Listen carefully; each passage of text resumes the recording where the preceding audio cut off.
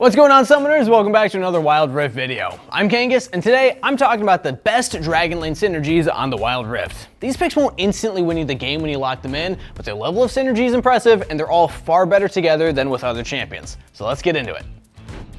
First up on our list, we have Miss Fortune paired with Seraphine. The Gunslinging Pirate and Popstar synergize really well, and there's a few interesting ways that their abilities combine together to make them far more than the sum of their parts. Firstly, both of them are just super obnoxious to lane against. Miss Fortune has some of the best early game trading around, with Double Up and Make It Rain both being potent harass tools. When combined with the burst of Love Tap, Miss Fortune is unrivaled in short trades. Seraphine's High Note and Beat Drop boast generous hitboxes and long range, so she lays down the poke too. Her passive stage presence also helps her dish out the damage at an insanely long range. The first big synergy between their kits lies in Seraphine's third ability, Beat Drop. She fires out a wave, dealing damage and slowing enemies. But if they're already slowed, they're rooted instead. And if they're already rooted, they get stunned. This skill is already pretty good in isolation, but when combined with Miss Fortune's Make It Rain for the slow, it's deadly. Seraphine can fire Beat Drop out, and then Miss Fortune can place Make It Rain just before it hits, turning the ability into a devastating root.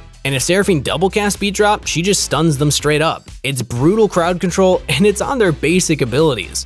Seraphine and Miss Fortune also both have huge AoE teamfighting ultimates, and they combine together very well. Seraphine can lead with Encore to keep enemies in place for bullet time, and can extend the CC by laying Beat Drop on top of Miss Fortune's already placed Make It Rain. Bullet time deals an insane amount of damage if enemies stand in it for the full duration, and Seraphine can make sure that the enemies are locked up the entire time. Miss Fortune and Seraphine perform extremely well at all stages of the game. Strong laning, strong team fighting, and abilities that enable each other turn these otherwise decent champions into a deadly combo. Make sure to try this one out if you haven't already. Before we continue, I just want to plug our Discord one more time. Check it out in the link in the description down below. We got tons of people in the community that will play games with you, talk esports, talk the game, talk meta, talk anything you want to talk about with Wild Rift. Go make some friends and have some fun. The next Dragon Lane combo that we have is Yasuo and Malphite. While Yasuo is more suited to the mid lane, with the right support, he's definitely a potent Dragon Laner and he should not be underestimated. Yasuo dishes out devastating crits if he's set up for success, and his Wind Wall can be impossible to deal with for some marksmen. The second part of this lane is crucial too. In Emerald and below, Malphite is very powerful. His harass with Seismic Shard is hard to sustain through and near impossible to avoid, and Unstoppable Force's AoE knockup is incredible for enabling Yasuo.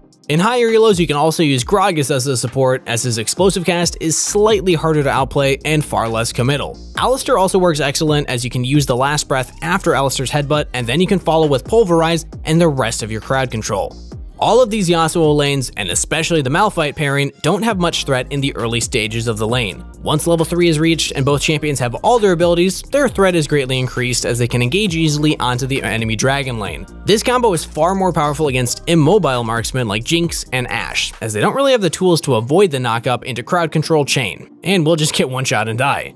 Yasuo's scaling is also immense, and when he has a champion dedicated to enabling him further, he's in a great position to take over entire games. As we already know, Yasuo is particularly tricky to pilot, but having free knockups makes it way easier to find engages. Yasuo Malphite and other Yasuo lanes can often be very powerful. When picked against teams with low mobility, the combo will be devastating. Yasuo lanes are a great change of place from the usual dragon lanes, and you should give it a whirl if you haven't already. Before we check out the rest of the video, our question of the day is, what champion is the most satisfying to play? Bombo combos are always great to watch, and landing big ults on champions like Amumu or Orianna are always super satisfying. My personal favorite is Malphite. Let me know yours in the comments down below. The third Baron lane combination we got is Jhin alongside Lux. If you're familiar with League of Legends, this is basically a budget Caitlyn Lux lane. To explain that a little further, Lux is great at setting up champions with high burst that can follow up on her light binding. Jhin can lay down Deadly Flourish to extend the crowd control and follow up with the rest of his kit for easy kills. Jhin and Lux, similar to Miss Fortune and Seraphine, are also both incredibly obnoxious in lane. Jhin's bouncing grenade and force shot are dangerous trading tools, and if the enemy isn't careful, they'll find their health bar slowly being chipped away. Lux can also keep out of the range of the enemy dragon laners while whittling down their health bars with Lucent Singularity and a few auto attacks. Once the enemy champions are slightly chunked, this is when the combo comes into play. Lux will throw out light bindings until one finally connects, and Jhin will follow up with Deadly Flourish. Both champions unload their burst, and in the unlikely event that the enemy survives, Jhin can follow up with the Curtain Call and begin sniping them from range. Lux can also snipe people with her final spark, which makes it even more difficult for anyone to actually escape this Dragon Lane combo. If you're a fan of Jhin and haven't played with Lux yet, try it out. Make sure to play extremely aggressively during the laning phase, and I'm sure you'll find yourself with some duo kills. The next Dragon Lane that we have for you all features one of the hardest champions in the game that isn't performing particularly well. It gives them a support that shores up most of their weaknesses, and this creates a beautiful synergy that can outplay even the most fed of foes. Vayne and Lulu are a late game powerhouse combo that can carry any game if they get out of lane unscathed. Vayne has a terrible early game, and Lulu isn't particularly good at that either. Lulu's help Pix helps Vayne farm some minions and not get poked down too much, but otherwise, it's pretty brutal for the duo. But once the lane phase is over, this duo can truly begin to shine. Vayne has incredible damage output from Silver Bolts and limitless outplay potential with the invisibility granted to her by Final Hour. She's slippery, hard to lock down, and will kill both your tanks and your carries in a mere few seconds. And when Lulu is behind her, Vayne is at her most powerful. All of Lulu's abilities enhance Vayne in a way that's incredibly useful. Glitter Lance, when combined with Help Pix, helps Vayne's already potent chase potential become truly inescapable. The slow can be invaluable when trying to catch out enemy carries or disengage from the enemy front line. When Vayne receives Whimsy, she's just impossible to hit. She moves so fast that she can effortlessly dodge every skill shot, and her increased attack speed makes her damage output even more terrifying. Help Pix also helps keep Vayne healthy, and the bolts from Pix synergize extremely well with Vayne's high attack speed builds. Lastly, Wild Growth makes Vayne even harder to kill, keeping her safe from incoming threats and interrupting any dashes heading her way. We haven't shied away from the fact that Vayne is pretty sucky at the moment, but Lulu is the one champion that makes her extremely powerful. If the game isn't over by the time that you finish your first item, you're in a great position to carry the game. And it's also just pretty fun to play. Just good luck getting out of the laning phase. Hope you find some victories with this otherwise underpowered champion. Next up in the Dragon Lane, we have Kai'Sa and Alistar. The Void Marksman has tools for almost every single situation, whether that's dealing with frightening enemy assassins, melting through tanks, or destroying enemy carries, Kai'Sa can do it all. Kai'Sa doesn't possess the raw early game power of other marksmen like Draven or Miss Fortune, but she makes up for it with versatility outside of the lane phase. If you can land Void Seeker, her burst in lane is still pretty potent, and Alistar's Headbutt Pulverize combo is incredible setup for it. Kai'Sa's passive, Second Skin, also gets stacked up by CC, and Alistar has that in spades. These two champions truly take off once the lane phase ends and the team fights become more common. With Kai'Sa Alistar, you want to play fights extremely aggressively. Alistar can peel enemy threats away so Kai'Sa can safely DPS, but ultimately, that's not necessarily the way you want to be playing fights. Alistar should be looking for enemy carries as soon as he can spot them, comboing them and setting them up for Kai'Sa. She can fly in with Killer Instinct, gunning them down with the Icathian Rain, and then escape with Supercharge.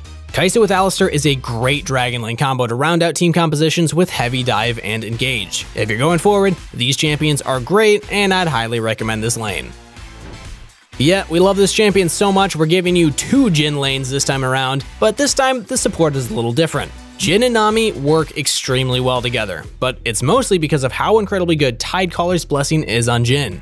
Nami has a very strong laning phase, and Ebb and Flow keeps her opponents poked out while she stays topped up. She can cast Tidecaller's Blessing on herself or Jhin to slow the enemy and set up her bubble, which can easily be followed up with Deadly Flourish and the rest of their burst. Where this combo truly shines is when Jhin gets access to Curtain Call. Nami's Tidecaller's Blessing empowers an ally for a short duration, giving extra magic damage and a slow to their next three abilities or attacks. This extra damage applies on each bullet of Curtain Call, making them a devastating barrage. It's also a good thing that the damage is loaded onto the first three shots, as Jhin's fourth shot is an execute, and all that extra damage will make it even more brutal. Jhin's ability to navigate teamfights also relies heavily on how fast he moves, so he really appreciates the extra movement speed from Surging Tides. He also doesn't have any sustain in his kit and tends to delay lifesteal items in his build, so Nami's heals are also invaluable. Jhin and Nami work particularly well together, and if you haven't already played this lane, you should definitely try it out. The last Dragon Lane synergy we have for you includes two of my personal favorite champions, Ashe and Braum. This Freljordian duo is particularly potent at rounding out team compositions that lack crowd control and utility, and are great at playing a supportive role for the team, or even taking the charge and leading your team to victory. Braum has boatloads of CC, and wins basically every fight where he's allowed to get his passive to proc. His Winter's Bite can sometimes be difficult to land, and often he'll find himself getting slowly poked out of lane if he can't find any all-ins. This is where Ashe comes in. She's extremely strong in the early lane phase, and volley trades can single-handedly carry the first few levels. The slows that Ashe dishes out is also super helpful for Braum, making it way easier for him to tag people with Winter's Bite so that Ashe can proc his passive. Once Ashe and Braum unlock their ultimates, they become even scarier. Ashe can lead with Enchanted Crystal Arrow to guarantee Glacial Fissure, which in turn guarantees Winter's Bite, which leads to Braum's passive proc, and from there on out, Ashe just continues the slows. This Dragon Lane has more than enough crowd control for both teams, and is an excellent pickup if you need to take a backseat and help your damage dealers in other lanes play out the game. So, whether you're queuing up for your next ranked games or just messing around with your buddies, you should try out some of these Dragon Lane combos. Picking champions with strong synergy can be extremely fun and also just makes them way better than if they're paired with other champions. Thanks for watching everybody. Make sure to answer our question of the day in the comments down below. Also like the video if you enjoyed the content, sub to the channel, check out our Discord in the description, and as always, best of luck on the Rift. Stay hydrated, and I'll see you next time.